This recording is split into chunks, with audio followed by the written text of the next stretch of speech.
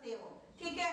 तो planning commission एक जैसा ही प्लान सभी राज्यों को दे देता था, लेकिन नीति आयोग एक थिंक टैंक के रूप में वर्क कर रहा है। वो एवरी स्टेट के प्रॉब्लम्स को रीड करता है और उस स्टेट को उसके प्रॉब्लम के अकॉर्डिंग प्रोग्राम दे रहा है। क्लियर दूसरी चीज़ें ये है कि नीति आयोग सिर्फ़ और सिर्फ़ इंडिया में प्लान बनाने के लिए नहीं है, बल्कि ये डेवलपमेंट के लिए भी काम कर रहा है और इंडिया से बाहर इंडिया को किस किस चीज़ से प्रॉफिट होगा, इस पर भी वर्क कर रहा है। समझ गए?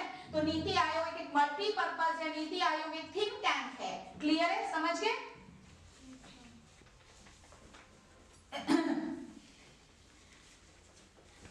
इसको वेरी वेरी इंपॉर्टेंट में डालना। इट फोकस कॉपरेटिव फेडरलिज्म एक स्टार छोड़कर नीचे है।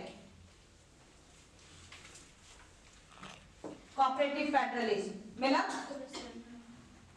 एक्चुअली क्या होता है ना कॉपरेटिव फेडरलिज्म को देखो वर्ड कैसे, क्योंकि ये वर्ड नहीं आया है। थिंक टैंक आपका आ चुका है क्लियर स्टैचुरी आ चुका है। ये दोनों वर्ड को स्टेटमेंट में ले चुका है।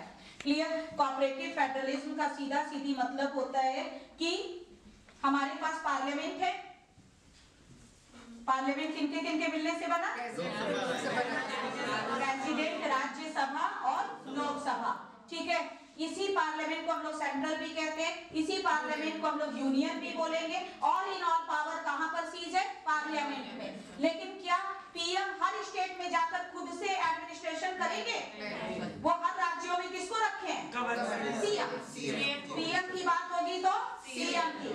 प्रेसिडेंट की बात होगी तब गवर्नर आएँगे। ठीक है? तो पीएम जो है लोकसभा में पीएम है लेकिन एवरी स्टेट में कौन है? सीएम सीएम सीएम किसके लिए रिस्पॉन्सिबल होंगे पीएम के लिए क्या पॉसिबल है कि मैं नीतू पूरा जो है वो खुद से पूरा शासन करूँ नहीं है मुझे मिलकर शासन पड़ेगा क्लियर है? समझ गए यहाँ पर? चलिए, अब देखिए कि एक पीएम पूरे राज्यों में शासन नहीं कर सकता है।